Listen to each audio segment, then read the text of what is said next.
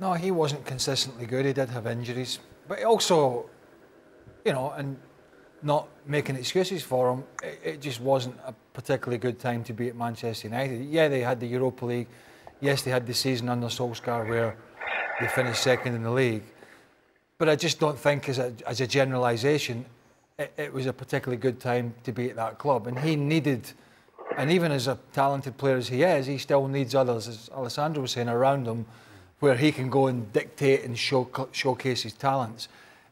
For long periods, he didn't have that at Man United, but he's not blameless.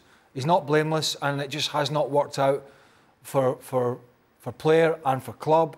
And it's no surprise that he's leaving on a free transfer. I can't imagine he wrote that himself. Somebody's given him that to read out because he's, he's talking about many moments and memories.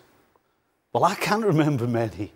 And if, and if, if you go to Manchester United for 100 million to win the Europa League, then it's somewhat of a failure. And as Craig said, he's got to take, he's got to take a lot of responsibility for that. You know, he's not, he's not the first or the last player that's probably gone to the wrong club at the wrong time. But other players show what they're all about. They show some, some guts, uh, and they certainly show some dignity, uh, and they, they certainly put out 100% at the very least. If Pogba's honest, he can't say he's done that. So, yeah, he has to take a lot of responsibility.